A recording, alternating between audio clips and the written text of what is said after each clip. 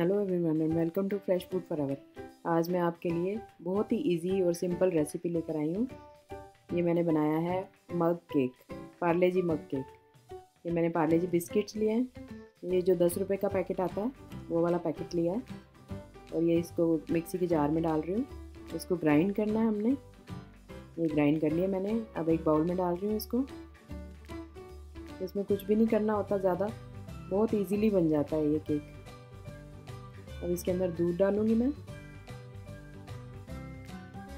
एक कप दूध लिया मैंने थोड़ा थोड़ा करके डालना है। इसका बैटर तैयार करना है। इसमें मलाई भी थी थोड़ी सी वो भी मैंने डाल दी साथ ही। अब इसको अच्छी तरह से मिक्स कर लेना है। इसमें ऐसे, इतना ज़्यादा मिक्स करना है कि इसमें लम्स नहीं रहे बिल्कुल भी।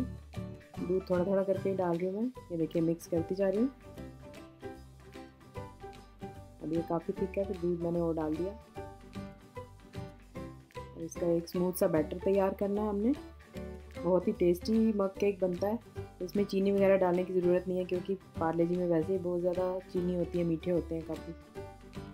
इसलिए और दूध थोड़ा और डाला मैंने। पूरा एक कप दूध लगा है इसमें। इसको फेंट रही हूँ अच्छी तरह से। जब भी आपका मन करे मीठा खाने का तो आप ये केक बना के खा सकते हो। दो तीन मिनट लगेंगे इसको बनाने में, और बहुत इजीली बन जाता है ये। इसको अच्छी तरह से मिक्स कर रही हूँ फेंट रही हूँ अच्छी तरह से, ताकि लम्स ना रहे इसके अंदर।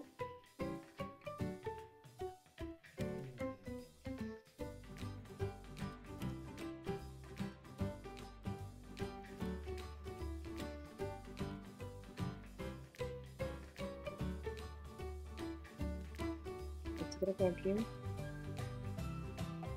तो बैटर तैयार हो गया है। अब मैंने इसको मग में डाल दिया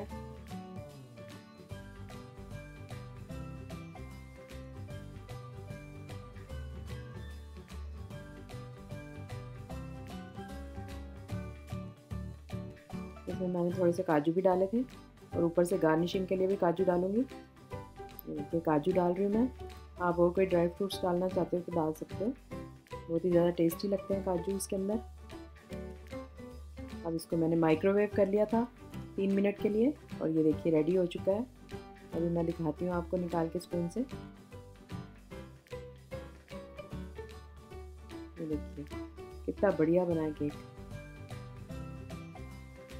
कितना अच्छा केक है। Please like, share and subscribe to the channel and thank you so much for watching.